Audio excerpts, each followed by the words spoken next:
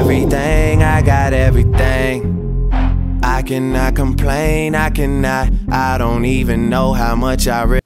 Hey guys, what's up? It's Blake here, and today I'm going to show in detail how to get the Mobizen app, or Mobizen, whatever the heck you want to call it. And first, I'm going to say sorry for the poor quality, but I had to delete the app to show you the entire thing. So you'll look up Mobizen in the search bar, and then you'll get this. So when you get this, just click the install button, and it should install real quickly. It doesn't take very long at all. Let me focus here.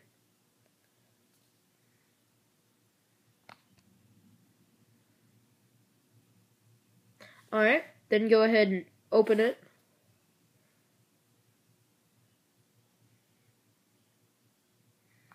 And then accept their terms and conditions. And then click your, oh, sorry.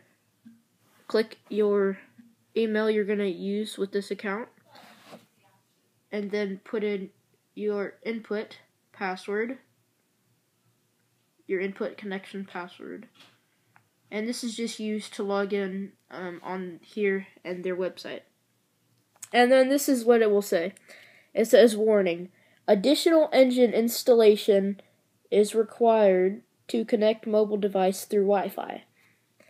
So if you get this pop-up, this should be how you get the installation thing. So then go ahead and click installation and it'll automatically take you back to the Google Play Store. And as you can see, I get this plugin LG version 10. So these, this is the plugin that I have to use because I have an LG phone. And then if you look here, I'm going to click the more. These are the plugins they have. They have the OPPO, the One Touch, the, they have all these, okay? So I'm going to go ahead and go through all these just where you guys can see if they have the plugin that you need because I don't know what which one you have, but it should automatically take you to it once you open the app as you saw um, like it did to me. So then once it does that, just go ahead and install it. It's just a plugin. It takes like five seconds. And no, it is not openable because it's just a plugin that goes to the app. And then it'll take you back, and then it says welcome. And then there's your tutorial, and then just click start Mobizen. Or Mobizen, I know I've called it a bunch of names. And then click record screen, and then you'll get this, the hide on on hide. That's just basically um that what the heck?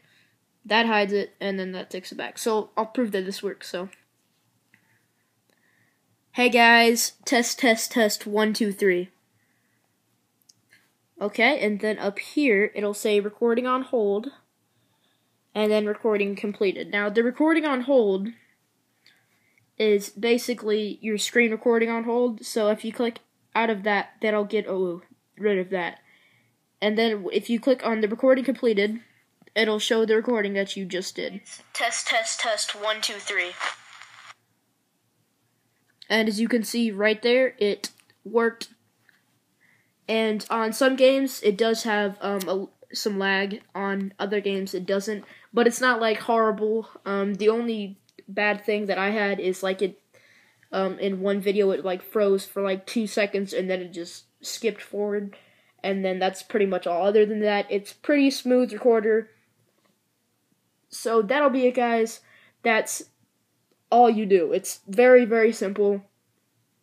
If it doesn't have your plugin, um, I've actually, um, if you watched my first video on this, you actually saw that I had an update, um, right then when I did the video. So it does update, um, you know, just like any other app. So you might have a plugin eventually. So I'd go ahead and keep my eyes out for that. So that'll be it, guys.